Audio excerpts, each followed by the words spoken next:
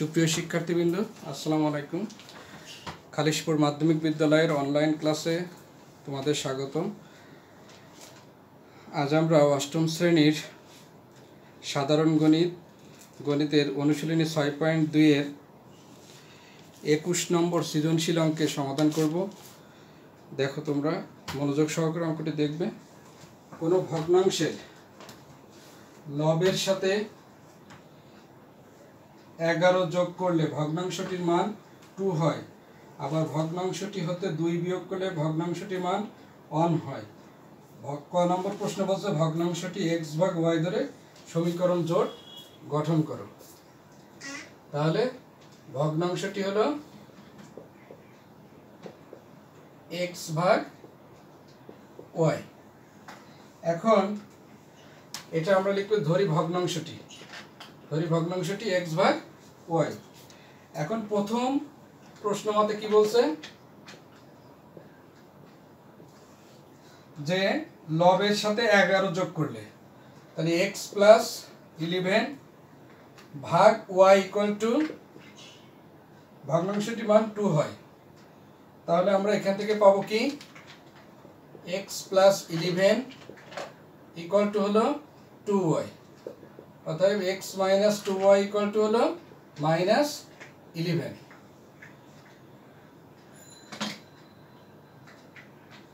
তাহলে আমরা এটা এক নং সমীকরণ দিব। দ্বিতীয় প্রশ্ন মতে কি বলছে? দ্বিতীয় প্রশ্ন মতে যে হর থেকে দুই বিয়োগ করলে, তাহলে লবের সাথে কোনো কিছু বসবে না। Y minus two. হর থেকে দুই বিয়োগ করলে ভগ্নাংশটির মান অন হয়। সরি এটা আমরা সমাধান করব x equal to y minus two তাহলে x minus y equal to হলো মাইনাস টু আমরা সমীকরণ জোট কিন্তু পেয়ে গেছি। এক এবং দুই নং সমীকরণের মানটাই হলো ক নম্বর প্রশ্নের সমীকরণ জোট। এখন খ নম্বর বলছে যে এটা অপনয়ন পদ্ধতিতে বের করতে হবে এবং এক্স ও ওয়াইয়ের মান বের করতে হবে। তাহলে এখানে আমরা লিখব যে খ নম্বরে যে ক হতে প্রাপ্ত? এক্স ইকাল টু এই sorry x minus two y equal to minus eleven এটা এক নং সমীকরণ। X minus y equal to হলো মাইনাস টু এটা দুই নং সমীকরণ। দেখো, এখানে আমরা যেহেতু এটা বের করব সমীকরণ জোটটি অপনয়ন পদ্ধতি তাহলে আমাদের কোনো একটা সমীকরণকে গুণ করতে হবে। তাহলে দুই নং সমীকরণকে যদি আমরা টু দ্বারা গুণ করি, তাহলে টু ওয়াই টু ওয়াই এখানে সমান হয়ে যাবে। তাহলে আমরা লিখব যে এক বা এটা করতে পারি এক্স এবং এক্সও বাদ দিয়ে দিতে পারি।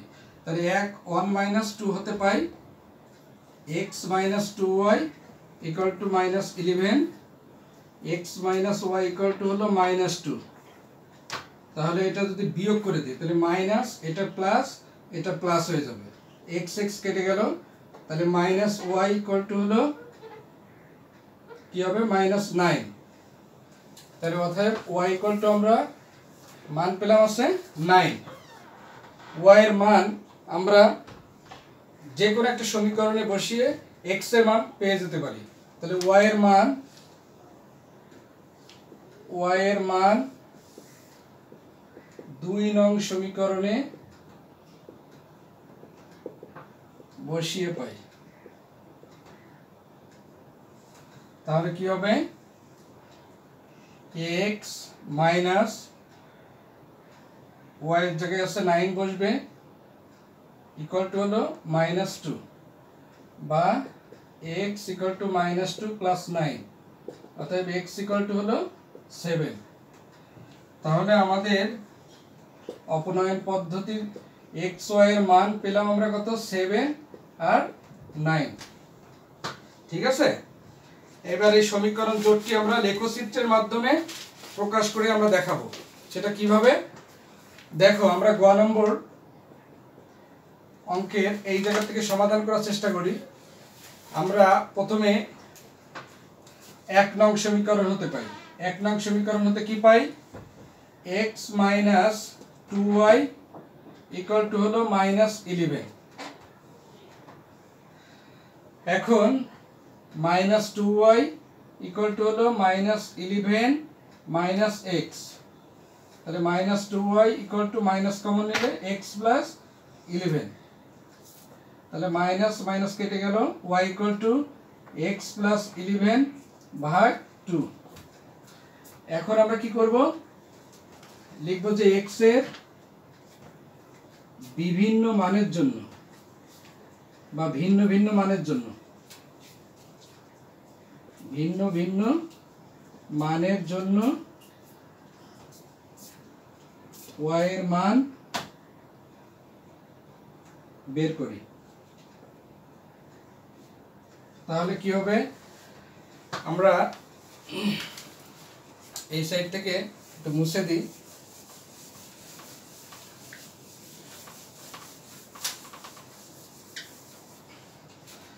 তাহলে আমরা এটা শক করব।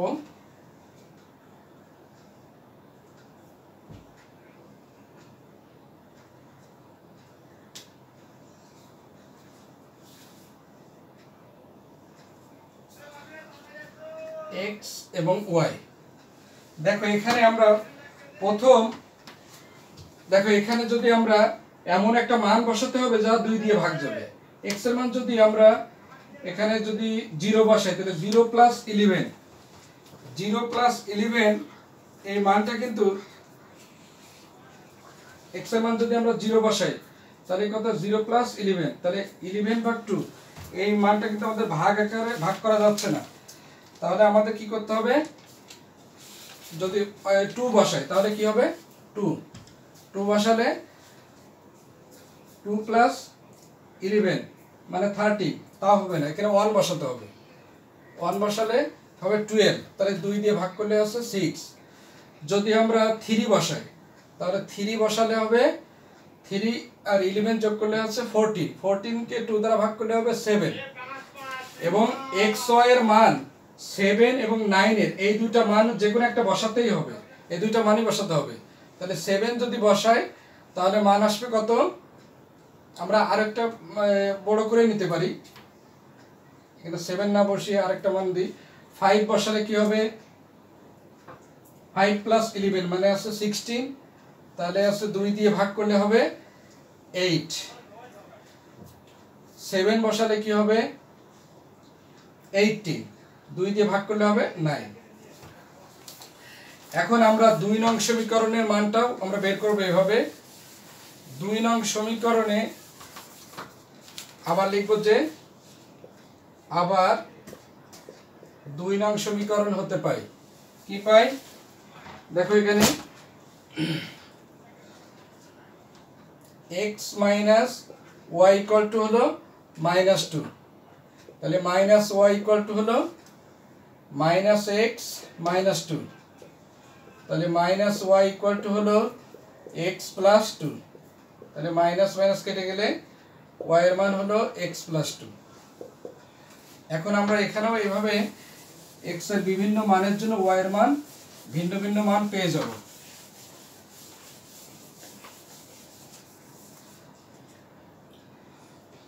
এক্সের ভিন্ন ভিন্ন মানের জন্য ওয়াই এর মান বের করি। তাহলে কি হবে এখানে ছকে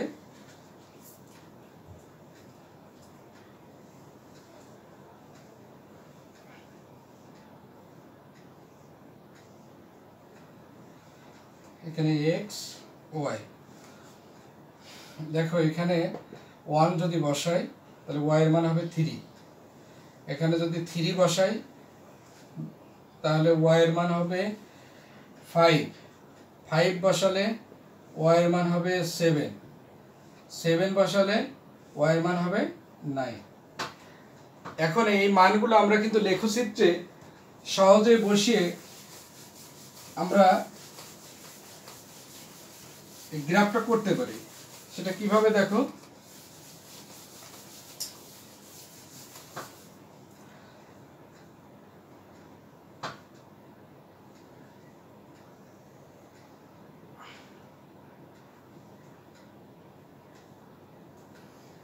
এটা যদি আমরা এক্স অক্ষ ধরি x x prime y y prime তাহলে মূল বিন্দু আছে জিরো জিরো। এটাকে আমরা এরকম যে সক্কাগজে প্রতি ঘরকে এক একক ধরে, প্রতি ঘরকে একক ধরে মানগুলো যদি বসিয়ে দিই, আমরা জাস্ট আমরা গ্রাফ যেহেতু গ্রাফে করছি না, এখানে আমরা হাতে আমরা অনুমান নির্ভর আমরা এখানে গ্রাফটা করব। এটা ওয়ান এটা two three four, five, six, seven seven. আর লাগবে না এই পাশে। আমাদের ওয়াইয়ের মান, এটা ধরলাম আছে ওয়ান এটা two three four five six seven eight nine আমরা এই পাশে মাইনাসের মানটা আমরা বসাচ্ছি না এই কারণে যে এখানে আমরা এক্স এবং ওয়াই এর যে মান পেয়েছি, এখানে কোনো ঋণাত্মক কোনো মান নেই। আমরা এক নং সমীকরণের মানটা আগে বসে বসাবো এখানে। এক্সের মান যদি ওয়ান হয় ওয়াই এর মান হলো সিক্স তাহলে হবে কোথায়? এরকম জায়গায়। তারপরে আছে three seven three seven three seven three seven বা একটু সরিয়ে দিই। থ্রি সেভেন তারপরে আছে five eight five eight five eight five eight সেটা মুছতে হবে আমাকে এখন। ফাইভ এইট তারপরে পরের মানটা হলো সেভেন নাইন সেভেন নাইন। এরকম জায়গায় তাহলে এটা যদি যোগ করি,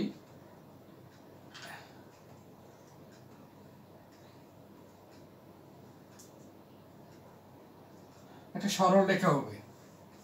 দুই নং সমীকরণের মানগুলো যদি আমরা এখানে বসিয়ে দিই, প্রথমে আছে one three one three three five three five three five five seven five seven মানে এই ফাইভ সেভেনে দুইটা সমীকরণের মান কিন্তু এক জায়গায় কিন্তু যুক্ত হয়েছে।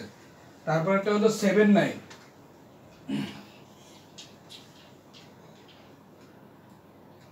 সরি ভুল বললাম ফাইভ সেভেন এখানে না, এটা হচ্ছে ফাইভ এইট এটা হচ্ছে ফাইভ এইট আমরা জাস্ট মানগুলো বসাই দিলে এই সমস্যাটা হতো না।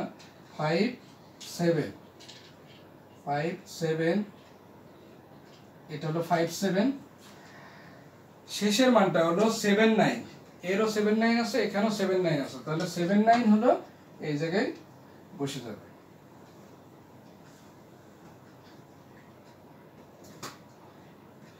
তাহলে এটা হলো সেভেন নাইন আমরা সুবিধার জন্য এখানে লিখে দিতে পারি one six three seven three seven five eight seven nine seven nine হলো দুইটা সমীকরণের সাধারণ বিন্দু। তাহলে one three three five five seven five seven seven nine এখন আমাদের আসলে প্রশ্নটা ছিল কি? প্রশ্ন ছিল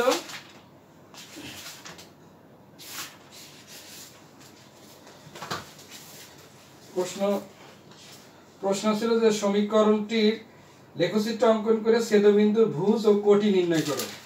তাহলে আমরা ভুজ এবং কোটি আমরা কিন্তু পেয়ে গেছি, যেটা সাধারণ বিন্দু, এটার একটা নাম দিলাম এ তাহলে এটাই হলো আছে এই দুইটা সমীকরণকে এক যে একটা নির্দিষ্ট বিন্দুতে যে সেট করছে, সেটা হলো সাধারণ বিন্দু এ ইকুয়াল টু হলো সেভেন নাইন তাহলে আমরা জানি যেটা ক্রমজোড়ে এক্স অক্ষটাই হলো ভুজ, এখানে ভুজ হলো সেভেন, আর ওয়াই অক্ষটাই হলো আছে কোটি। এবং শখ কাগজে আমরা লিখতে পারব এভাবে এক্স ও এক্স প্রাইম ওয়াই ও ওয়াই প্রাইম যথাক্রমে এক্স অক্ষ এবং ওয়াই অক্ষ, ও আছে মূল বিন্দু এক নং সমীকরণের মানগুলো ছক কাগজে স্থাপন করে একটি সরলরেখা লেখচিত্র পাই, আবার দুই নং সমীকরণের মানগুলো এই গ্রাফ লেখচিত্রে গ্রাফ কাগজে প্রতিস্থাপন করলে আমরা একটা সরলরেখা পাই। দুটো সরলরেখা একটা নির্দিষ্ট বিন্দুতে মিলিত হয়, সেটা হলো এ ইন্টু এ এ বিন্দু এবং এ বিন্দুর মান হলো সেভেন নাইন এই এ বিন্দুর ভুজ হলো সেভেন এবং কোটি হলো নাইন আশা করি তোমরা অঙ্কটি বুঝতে পেরেছ। আগামী ক্লাসে আবারও তোমাদের সাথে দেখা হবে। আল্লাহ হাফেজ।